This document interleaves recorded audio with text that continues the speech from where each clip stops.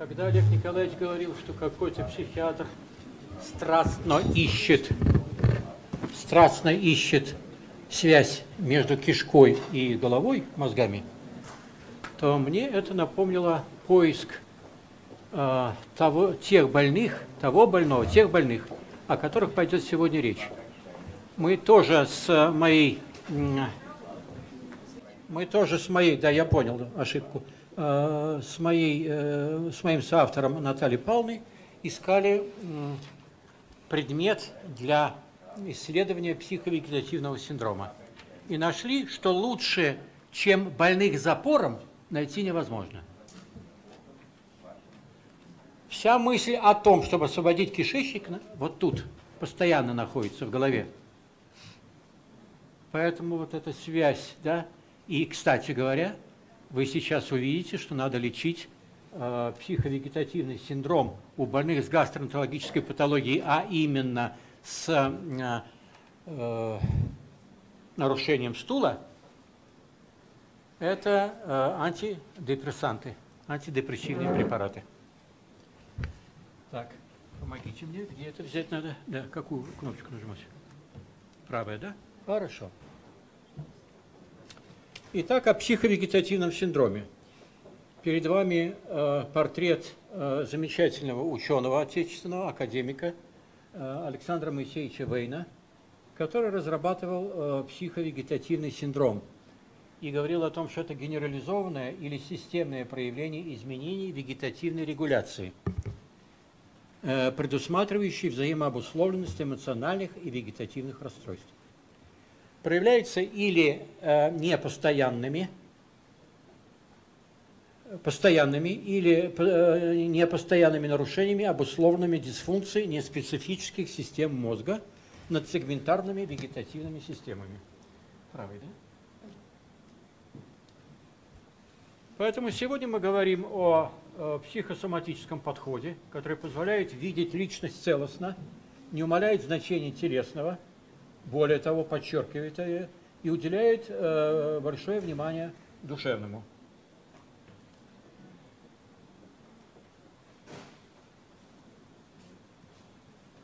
Если на организм человека действует стресс, будь то острый стресс или хронический, э, сразу включаются реакции со стороны целого ряда систем. И прежде всего это нервная система. Головокружение, дурнота, тремор – Э, мышечные подергивания, судороги и так далее. Не остается в стороне и гастроинтестинальная система, проявляющая себя тошнотой, рвотой, сухостью во рту, отрыжками, метеоризмом, запорами, поносы, абдоминалгиями. Сердечно-сосудистая система тоже очень реактивна. Это тахикардия, экстрасистолия, кардиалгия, артериальное давление вниз-вверх поднимается и спускается, акроцианоз, Э, волны жара и холода. Ну, также это терморегулирующая система, также э, дыхательная система и урогенитальная система. Все они предъявляют целый ряд жалоб, как бы требований к организму, потому что стресс влияет э, отрицательно на их состояние. В настоящее время с точки зрения психосоматического подхода стало понятно, что нет специфичности поражения органа – то есть психосоматические факторы нельзя рассматривать в качестве этиологических. Они включаются в патогенез заболевания и обычно выступают в роли триггеров, которые запускают обострение или факторов, модулирующих значение заболевания, течение заболевания. Акцент ставится на дезадаптивных изменениях в психической сфере личности, проявляющихся в сфере эмоций. А в сфере эмоций это тревога, это депрессия, это ипохондрия – на, в когнитивной сфере сужения мышления. С позиции современной медицины течение заболевания является психосоматическим, адаптационно-компенсаторным процессом. При обострении заболевания это психосоматическая дезадаптация. Для фазы ремиссии это психосоматическая адаптация и компенсация. Давайте посмотрим влияние психических расстройств на соматическое заболевание – это, это провоцирование соматических заболеваний, это обострение соматических заболеваний и усугубление течения соматических заболеваний. Психические расстройства как следствие соматического заболевания. Это может быть реакция на болезнь и связанные с нею ограничения деятельности. метаболические изменения, как вот, вот так, а, понятно, вертикально, или интоксикация при тяжелой соматической патологии. А, то или иное влияние психических расстройств на организм оказывает задержку в выздоровлении, может способствовать прогрессированию заболевания, может утяжелять прогноз заболевания. Врачи общей практики часто встречаются с больными с так называемой толстой историей болезни, свидетельствующей о длительных, нередко бесполезных обращениях больных с тревожно-депрессивной симптоматикой к врачам различных специальностей. Эти больные в полтора-два раза чаще госпитализируются в стационар. Внимание врачей общей практики должно быть обращено к вегетативным, психовегетативным расстройствам пациентов, так как вегетативная нервная система является хозяином наших внутренних органов. Взрослые лица, имеющие симптомы тревоги и депрессии, в 6 раз чаще посещают кардиолога, в 2,5 ревматолога, в 2 раза чаще невролога и лороврача, в полтора раза чаще посещают гастроэнтеролога, в полтора раза чаще проходят стационарное лечение. На этой таблице представлены взаимоотношения тревоги и депрессии. Итак, представим стрессовые, э, здесь в углу слева, э, стрессовое влияние. Появляется сначала э, субсиндромальный уровень тревоги, потом сама тревога, потом смешанное тревожно-депрессивное состояние. И, наконец, возникает депрессия, в которую входит больной, из которой очень трудно только убеждениями и спокойным голосом беседовать с больным – и э, возникают психотические, тревожные и депрессивные синдромы. Э, отмечается коморбидность тревожных расстройств с развернутой депрессией, то есть э, содружество этих реакций. Принципы лечения психовегетативных расстройств. Психических – это психотропная лекарственная терапия, вегетативных – психотерапия – соматических и психотерапия, и психотропная лекарственная терапия. А, в психотропной лекарственной терапии надо выделить лекарства, которые боятся выписывать терапевты. Боятся потому, что существует специальная форма рецептов, что с этими рецептами надо ехать или надо отправлять кого-то, чтобы подписать один рецепт на э, одно, на один курс лечения. Это вызывает, э, конечно, в условиях загруженности терапевтов и других специалистов э, большими обязывает их и отвлекает время и так далее. Но во всяком случае, во всяком случае, мне удавалось не один раз на обычных рецептах выписывать э, препараты, лекарственную терапию психотропную и назначать антидепрессанты, э, селективные ингибиторы обратного захвата Эм, серотонина и э, селективный ингибитор обратного захвата эм, э, норадреналина. Транквилизаторы, наверное, идут легче в нашей практике. И э, это, конечно, отягощает нашу работу терапевтическую. Но, тем не менее, эти препараты потихоньку входят. Наверное, будут какие-то сдвиги со стороны Э, реакция Министерства здравоохранения. Э, во всяком случае, э, я сейчас позже скажу, какой-то там есть приказ, который позволяет выписывать эти рецепты.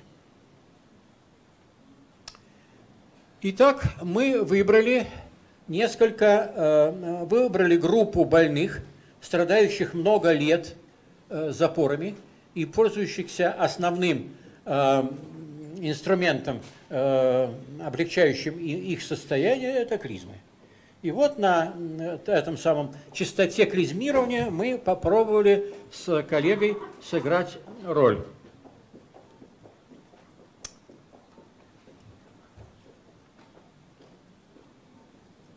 Определенную роль.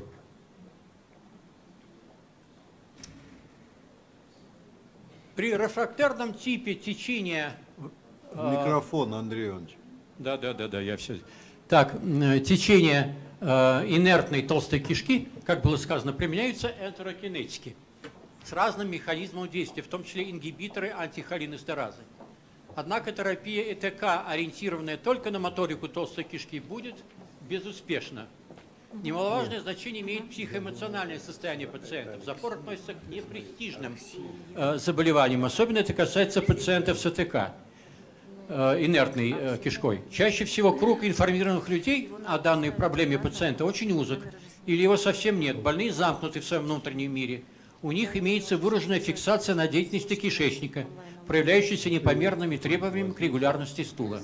Одного стула ну в сутки недостаточно, нужно 2-3, и этим занимается, э, где прилечь, э, как сделать и так далее, и как можно быстрее пациент. Это трудные пациенты со своими сомнениями, колебаниями, склонные к тревожно-депрессивному состоянию.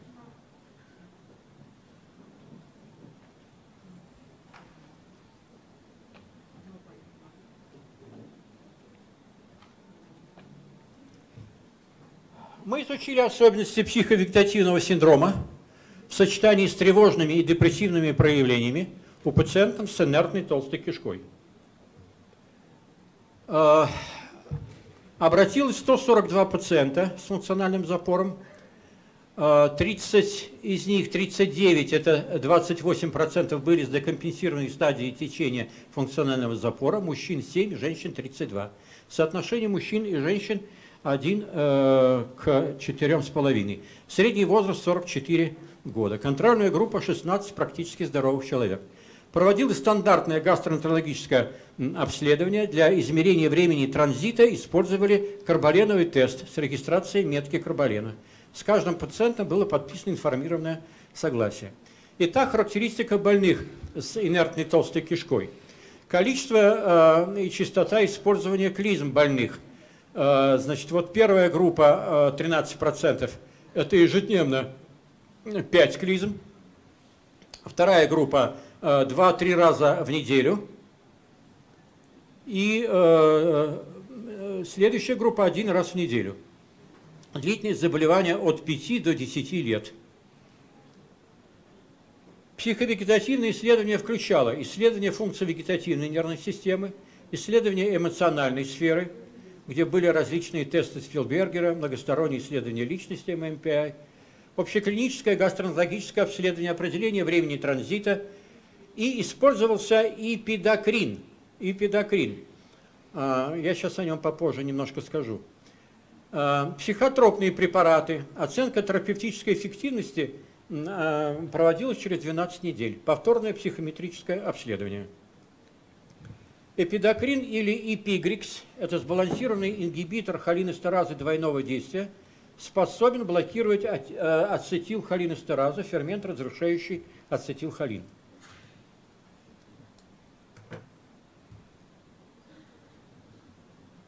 Здесь перечисляются психовегетативные симптомы.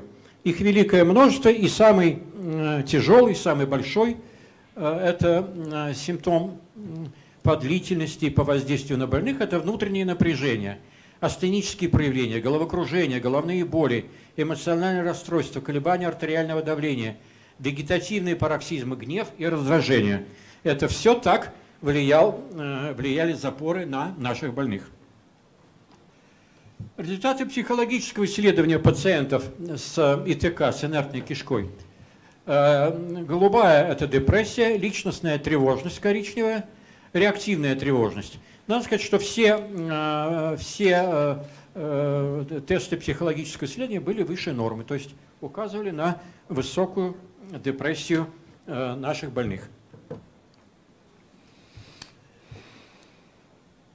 Несколько слов о моноаминовой теории депрессии. Учитывая, что мы применяли в лечении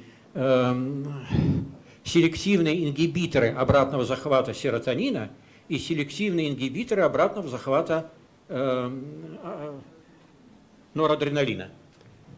Значит, в так называемой межмозговой щели происходит обмен э, аминами Э, они стремятся из мозга далее, и э, тут-то их и подлавливает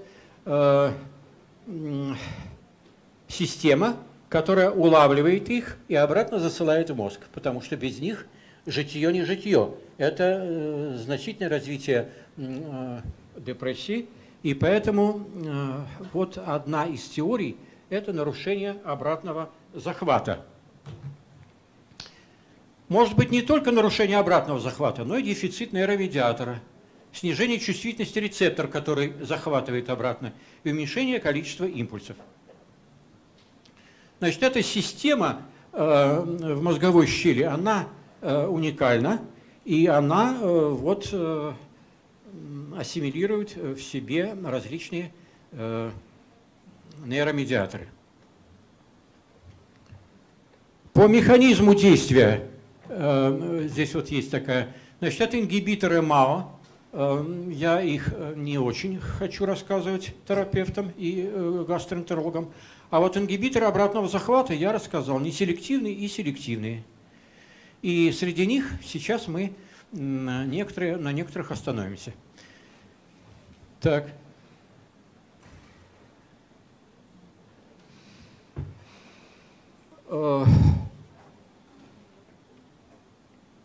Терапевты и гастроэнтерологи используют также э, трициклические антидепрессанты.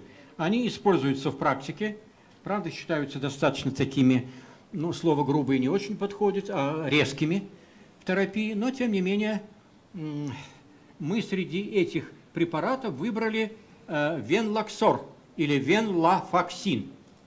Преимущества его состоят в чем? Что он э, улавливает серотониновые, э, сотрудничает с серотониновыми и норадреналиновыми рецепторами, частично с дофаминовыми рецепторами, которые э, положительно влияют на состояние центральных структур мозга, э, снижая явление депрессии.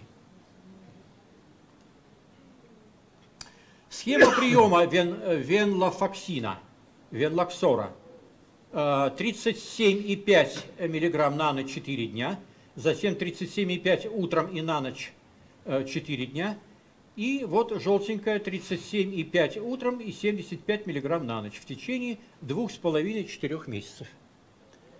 Если терапевты, гастроэнтерологи назначают э, антидепрессанты – то они не имеют права назначать их на 2-3 дня. Так сказать, проба какая-то легенькая сделали, посмотрели, переносят, будем дальше. Не переносят, какое-то что-то произошло, отменяем.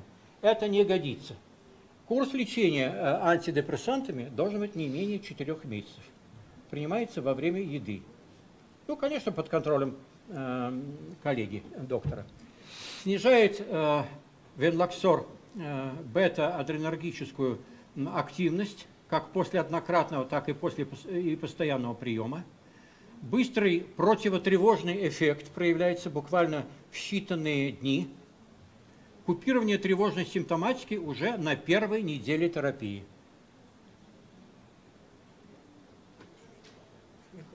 Да. Значит, в первые дни лечения назначались небольшие дозы. Вот здесь 37,5, можно было это уменьшить вдвое но э, в первые дни терапии перед, перед даже, перед назначением антидепрессантов следует назначить транквилизаторы, а именно альпрозолам или феназепам. Это препараты достаточно спокойные. Э, вот относительно выписки их э, аптеками, а, отпуска аптеками, я сейчас, наверное, найду документы, которые нам помогут это найти. Так, правовые аспекты психофармакологической помощи согласно утвержденным Минздравом 2000 года методические рекомендации. Так, так, так, врач общей практики может, заподозрив нарушение психического состояния, произвести самостоятельно скрининговое психологическое обследование больного.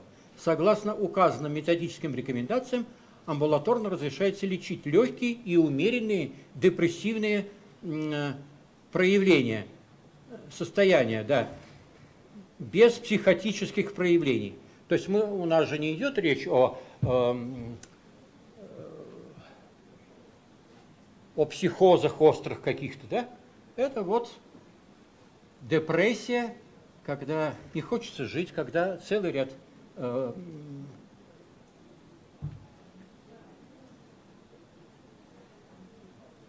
Значит, рецепты на психотропные препараты врачу общей практики следует выписывать на бланках э, формы э, номер 148 и не более, чем на одну упаковку лекарства. Здесь я в рамках э, закона Минздрава И психофармакологическое лечение создает плацдарм для успешной психотерапии. Спасибо за внимание.